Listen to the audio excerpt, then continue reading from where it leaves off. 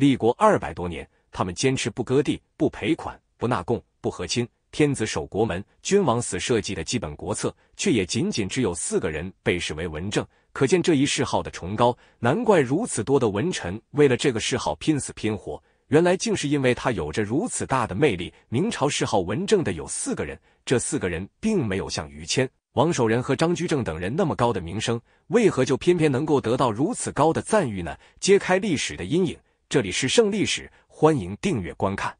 自西周以来。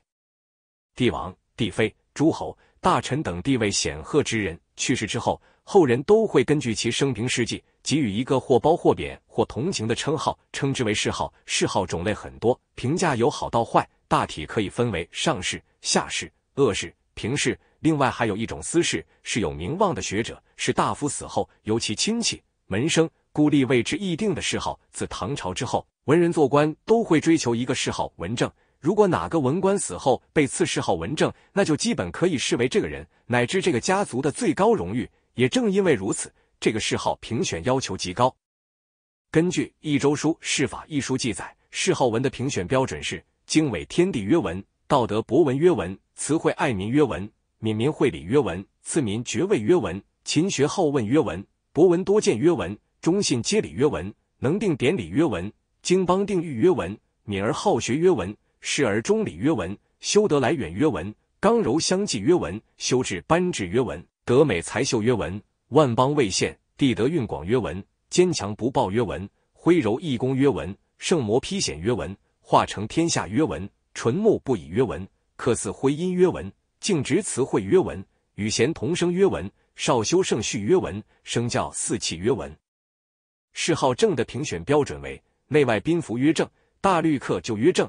内外用情曰正，清白守节曰正，图国忘死曰正，内外无怀曰正，直道不挠曰正，进攻其位曰正，其仪不推曰正，精爽其素曰正，诚心格非曰正，壮以率下曰正，西邪俱避曰正，主极客端曰正，万己就礼曰正，殊慎持功曰正，端行事化曰正，心无偏曲曰正，守道不移曰正。可见，无论是文还是正的评选标准都很高，因此。文臣都以能够得到文正的谥号为最高荣誉。然而，也正因为如此，历代君王都从不轻易赐大臣文正。纵观整个明朝，获得此殊荣也就四个人而已。他们分别是方孝孺、李东阳、谢谦和倪元禄。方孝孺是儒学大师宋濂的学生，朱元璋对其十分欣赏，曾经对朱标说：“此庄士当老其才。”后来朱标早逝，朱元璋就把留给了朱允文使用。朱允文继位以后，迅速启用方孝孺。每遇大事都会找方孝孺商议，有时甚至直接让方孝孺在自己面前草拟奏折批复。朱棣发动靖难之役后，朝廷发出的讨伐诏书和檄文都出自方孝孺之手。对方孝孺而言，最为后人所称道的是，他面对朱棣的威逼利诱毫不动摇，并身披校服在朝堂之上与朱棣进行激烈辩论，最终因激怒朱棣而被处以诛十族的极刑。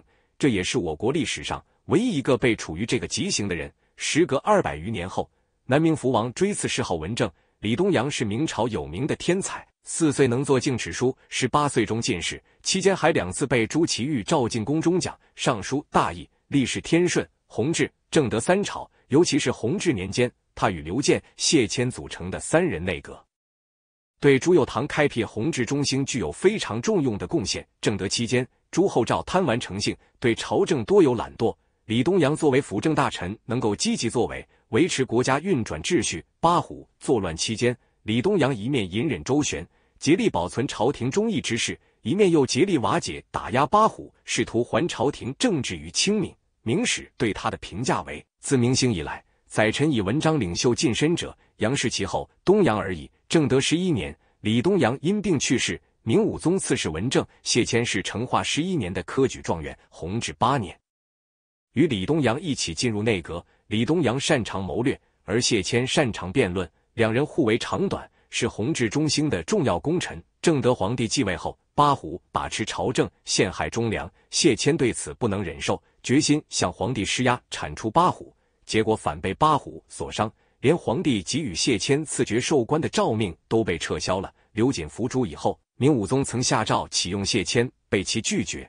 明世宗继位后，又亲自让传令官到谢谦家里下旨，要求其入阁复职。这次虽然没有决绝，但已经七十九岁的高龄让其无法承受高强度的工作。明世宗则特许天冷不用上朝，还经常赏赐美味佳肴。第二年因身体原因再次辞官回家，明世宗仍然经常遣人问候。嘉靖十年，谢谦因病去世，明世宗特赠太傅的官衔，谥号文正。倪元禄是天启二年的进士，乃是名臣袁可立门生。他人如其字，具有强烈的个性。当时魏忠贤专权擅政，败坏朝廷纲纪，倪元禄对此不能忍受。于是，在天启七年，借助担任江西乡试知主考官之机，出题讽刺魏忠贤。崇祯皇帝继位后，准备重用倪元禄，结果由于崇祯皇帝生性多疑，又遭到小人诬陷，倪元禄再次被打压。倪元禄的为官之路不可谓不坎坷，然而相比于他的为官政绩，他的书法造诣更为人所熟知。由于节字奇策多变，书风奇伟，后人对他有比奇、字奇、格奇之三奇，士族。一族、运族之三族的称誉。崇祯十七年，北京城破，崇祯皇帝自缢身亡。倪元禄闻讯，也选择自缢殉国。弘光时，刺史文正，明朝这四个文臣均在死后获得了谥号文正。其中，方孝孺和倪元禄都是南明福王所赐，方孝孺更是死后二百年才获得此殊荣。而李东阳和谢谦同朝为官多年，这种一朝两人同时获得文正谥号的，整个古代史上也是不多见的。由此可见，朱佑樘能够开辟弘治中兴，也是有其必然性的。接术语虽然谥号是人死后的一种荣誉，但文人向来是名节重于生死，哪怕这个名节是死后评判的。所以谥号这个东西，虽然看似虚无缥缈，但对古代文人仍然具有非常强大的吸引力。也正因为如此，无数读书人愿意为了这个称号去努力、去拼搏、去坚守心中的道义，进而形成了古代文人特殊的文化现象和价值理念。明朝是古近代大一统王朝，收入最低的王朝，一年只有四百万两白银，而且明朝的税负还高，因为明朝收税体系有极大的缺陷：农业税过高，商业税过低，贸易体系封闭。清朝年收入就达到了四千万两白银。乾隆还前无古人的减免了几次全国赋税，到了宣统时期，甚至达到了三亿两白银。明朝很重视火器嘛，明朝一百多年都是用越南和元朝遗留下来的火铳和神机枪。引以为豪的大明神机营装备的其实就是仿造的越南火器，后来才仿造了一些佛郎机。在明朝末年才引进红衣大炮，但是产量很低。鸟枪引进明朝一百多年也没有实现普及化。绝大部分士兵还是使用三眼铳等火器。清朝刚刚成立，就建立了压倒明朝的红衣大炮力量，很快就普及化鸟枪。在乾隆时期，开始配备从准噶尔缴获的土耳其式重型火枪。道光时代，也就是第一次鸦片战争时期，引进和仿造九百门西洋大炮。到了清末，已经可以自己生产阿姆斯特朗大炮、克虏伯大炮、装甲巡洋舰、马克沁重机枪、麦德森轻机枪等等一系列武器。明朝很重视贸易嘛？明朝从一建国就开始全面闭关锁国，长达二百多年，一直到一五六七年才开放。清朝只是在一六五五年到一六八一年封海二十六年，第一次鸦片战争以前，清朝光是对欧美贸易就超过两亿两白银。清朝搞民族歧视，明朝养着数十万藩王贵族和亲属，霸占盐税田地，肆意掠夺民间美女，荒淫腐化，祸害百姓。一王朱典养卫，抢夺民女。关闭洛阳城门，一次就劫掠七百多名女性。很多省份百分之三十以上的收入都用来供养这些藩王亲贵。